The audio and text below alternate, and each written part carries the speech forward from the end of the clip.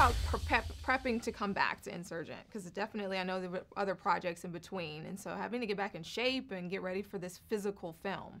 It was fun. I mean, I, I love athleticism and I love working out and whatnot. So any opportunity to to do that as well as have an incentive to try and build towards is really exciting. Yeah.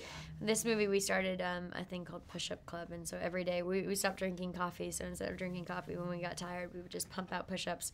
And by the end, we were doing like 150 a day. It was really fun. Actually, towards the very end, we were closer to 200. But you just stop and you'll do 10 push ups and then continue on. Stop to 10. My kind of girl. I love it. You can hang Super with the boys. Fun. Yeah, definitely. Yeah. You had to cut your hair though for this, correct? Or talk about the journey to cutting the hair and yeah. then having it in this film because we did we saw you with long hair in Divergent. Yeah, so my hair was short from a previous film that I had done, and in the book Insurgent, Tris cuts her hair into sort of a bob.